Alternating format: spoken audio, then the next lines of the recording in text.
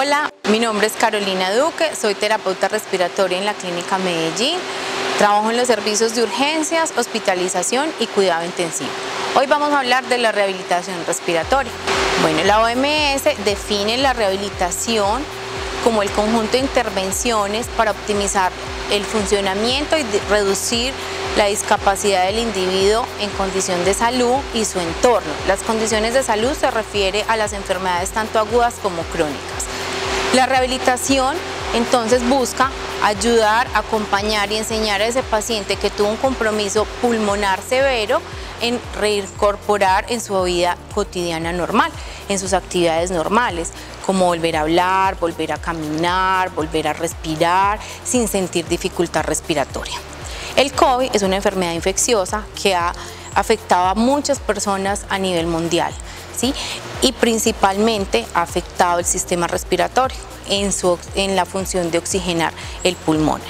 Eh, puede ser leve, moderado o severo, de acuerdo a los signos y síntomas que te presente el paciente. Eh, es decir, lo podemos medir por medio de la saturación o unos gases arteriales, los cuales nos da el grado de si el paciente puede ser manejado en una casa, puede ser manejado en una hospitalización o puede ser manejado en cuidado intensivo. Dependiendo de este, eh, de este compromiso, nosotros vamos a intervenir. El objetivo de la terapia respiratoria y de la rehabilitación es buscar que ese paciente tenga independencia y autonomía en sus actividades sin que sienta dificultad respiratoria. Los ejercicios entonces están enfocados al fortalecimiento de la musculatura respiratoria, al mejorar los índices de oxigenación y a mejorar la calidad de vida. Los ejercicios respiratorios eh, tenemos eh, de acuerdo al compromiso que tenga el paciente.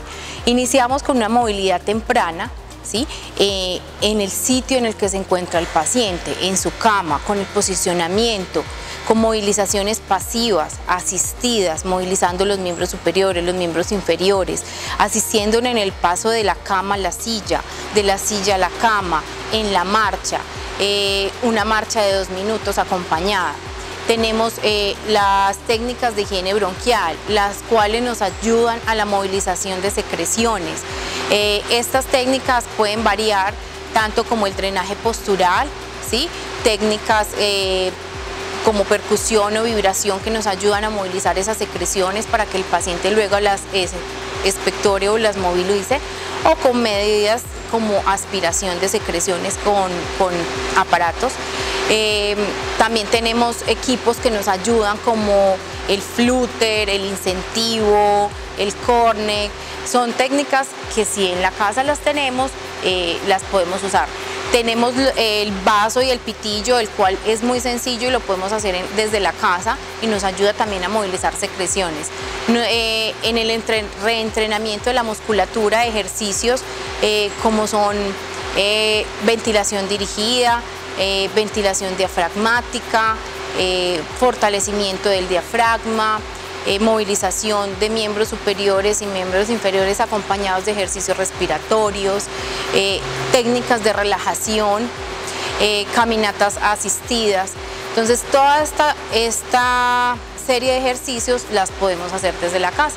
Los pacientes que tienen traqueostomía, el cuidado de la traqueostomía también es una función tanto de nosotros como de la familia que está alrededor del paciente.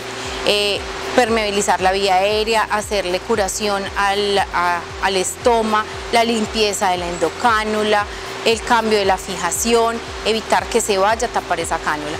Toda esta serie de ejercicios son eh, de apoyo para el paciente en el retorno de su vida eh, a la normalidad.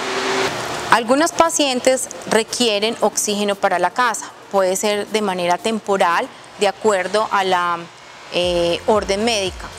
Estos pacientes eh, deben de tener humidificación en casa. Ese humidificador eh, tiene un agua el cual debemos de cambiar diariamente, ¿sí? con agua estéril o con agua destilada. Debemos de tener una monitoría, no lo podemos retirar, por largos periodos de tiempo. No debemos de tener eh, eh, velas cerca del concentrador de oxígeno o del cilindro de oxígeno. Generalmente los pacientes tienen un concentrador que va conectado a la electricidad y otro eh, el cilindro de oxígeno. Ese cilindro de oxígeno es para cuando no tienen energía en la casa y tengan el oxígeno mientras regresa la energía.